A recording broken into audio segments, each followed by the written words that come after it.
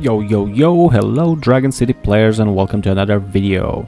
Today I got the Dolphin Dragon in a special discount offer and let's review it and see what this dragon is all about. You cannot get it by breeding other dragons at this point, but I'm sure they will make it available in the near future. So let's speed it up for 13 gems and place it into a light habitat right here. Check it out the dolphin dragon.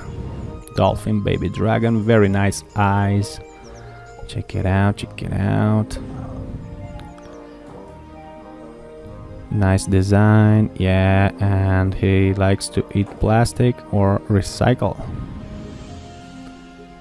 Okay let's see at level 4 check him out. The baby dolphin teenager dragon. Check him out. Yeah, he loves to play with his ball. And let's level him up to level 7. Alright. Okay, pretty cool dragon, very beautiful.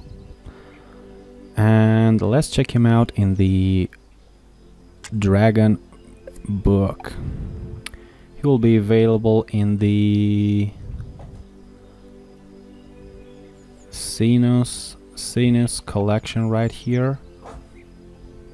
Let's check him out, check him out. Yeah, the baby dolphin dragon. He will be weak against flame and war attacks, and he will be strong against flame, electric, war, and dark. so as you can see, this is the dolphin dragon. Very nice design and nice colors. If you want to know how to get all the other dragons in this game, go to dragoncityguide.com, the place to be if you want to be a pro in Dragon City. Share this video if you liked it, and until next time, have an awesome day guys, and have fun in Dragon City. Alright.